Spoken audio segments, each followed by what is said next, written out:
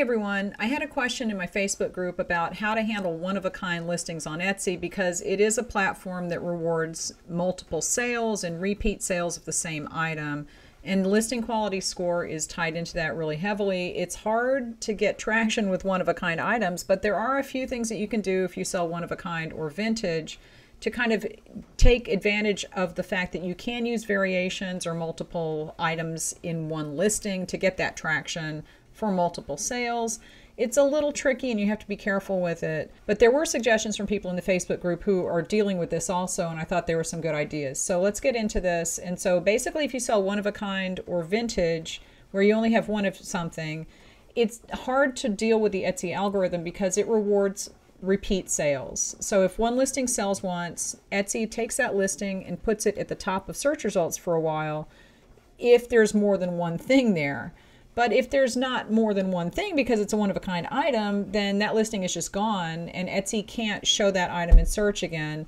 And I will tell you that I sell the same things over and over and over because I make things that I can sell more than one of. Because as you can see, I make them as they're ordered. But in my vintage shop, you only have one of something. So you can't make it again and again and again. You're not making it, it's just a one off. There are ways that you can use the same listing though to put variations in, and there's a few ways to do that. So the first way would be to take a group of things that are similar. For example, in my um, Etsy vintage shop, I had some wedding cake toppers, some vintage wedding cake toppers. I put a picture, I think there were five of them. I did a picture of five wedding cake toppers for the first listing photo, and each one was its own variation. So when people clicked into the listing, if they bought one, the other four were still available and the listing was still live and it went to the top of search results for a while. And then the second one would sell and it went to the top of search results because there were still three left. And if you have a lot of something, and if you're a vintage seller, start sourcing that one thing. If you find something that sells really well for you, start sourcing that every time you go out looking for things. And then you can use that same listing over and over and over. Now, you might want to go in and change the photos if you do that because if you sell out of one thing then a lot of times i will see listings that do this and you go into the listing that says that's sold out everything is sold out except for one of them and that's kind of a disappointment for customers so you might want to take pictures of each one individually or just take a picture of the four that are left and put that up there that's up to you, but you definitely can use the variations in that way to group similar things and have an inventory that's higher than one, even if they are one of a kind. Now, if you make one of a kind, there were a couple people in the group who suggested things that you can do to use that same variation idea. And basically, you would make something that's similar enough. And Michelle suggests turn the one of a kind into something you can regularly make, assuming that the materials are similar enough. So let's say that I make, and her example was wire wrapped jewelry. Okay, I'm going to give credit where credit is due. This is Michelle's Michelle's post if you can write the same description basically for something, but it's different because you wrap the wire in a little bit of a different way, you could put make five of those, even though if they're a little different, that's fine, and do those as variations. So variation one, and you can link photos to variations on Etsy. So if variation one is linked to the photo of the thing that that person is buying, then they can see very clearly this is the one that you're going to get. And once that sells out, it'll say sold out, but the listing will still be active and it will still go to the top of search for a while. So it does have a listing quality score. And that's the kind of thing that you could reuse forever. So that listing could actually be live forever, even though you have one of a kind items listed inside that listing. It's something that could live on after something sells. In that same post, Kathy in the Facebook group suggests that you do like a variation of fabric, and she sells clothing. So she says she'll list a clothing thing, you know, like whatever she's sewing, and have the fabric choice as the drop down. And that way you can change the fabrics out, you can change the pictures, and as long as it's all similar enough, you don't have to change the description. That's that's fine. It, you have to be careful when you're doing this though. Don't use a listing over just because you're using it over and it's anything. It has to be something that's similar enough that really just one detail or a fabric choice makes the difference but the description itself should be pretty much the same. And this is something that Etsy is very cagey about, and we've gotten different advice over the years depending on who you talk to. They say, yeah, it's okay to do that, or no, it's not okay to do that. We don't like it when you do that. They've never said you can't do it, but they don't really like it if you're listing things that are going to be confusing for people.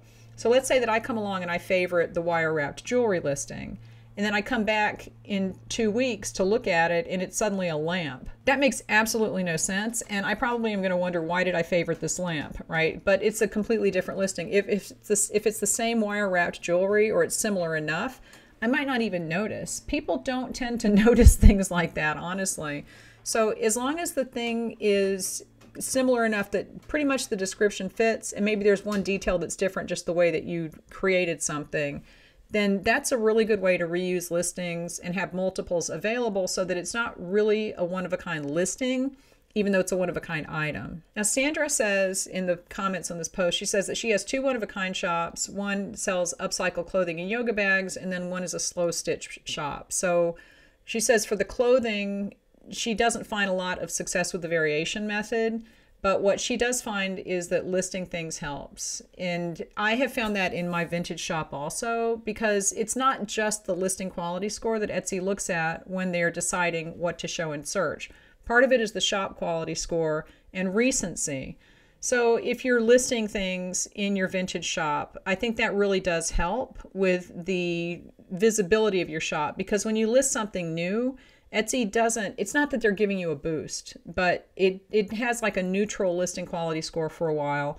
And Etsy does kind of try it out. Like it'll it'll look at the keywords and try to show your listing to people who have looked at similar things.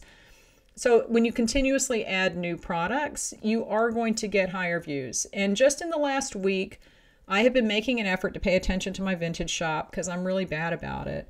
But just listing new things has increased my visits. And it's just because I have new keywords floating out there in Etsy. And probably those listings are being shown to people who they might not have shown listings in my shop before because those listings are new and Etsy is trying them out on people. So when people look at your listings and they've been getting favorites, that means that Etsy is going to give that listing a boost and it will help to get your shop seen overall. So the first thing is variations. The second thing is listing more stuff. Another person in the group, Phyllis, says that she does one of a kind artwork. And what happens is she'll do a painting, and then if it sells, she'll do a similar painting and use that same listing to republish it with the new photos. And that's another way to reuse that listing for the listing quality score. And it also is a good way to kind of stock your shop with things that are popular and things that are selling.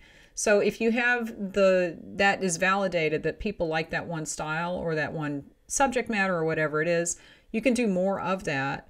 And even though they're one of a kind, you can keep the same listing and just reuse it again, don't reuse a listing for something that's totally different. And that will mess you up in the Etsy search algorithm. That's one thing, the way that the search algorithm is working right now, you don't want to change it too much because Etsy has categorized that listing as something. It knows who to show it to, or it thinks it does. And you don't want to change it for something that's completely different because that's going to throw everything off.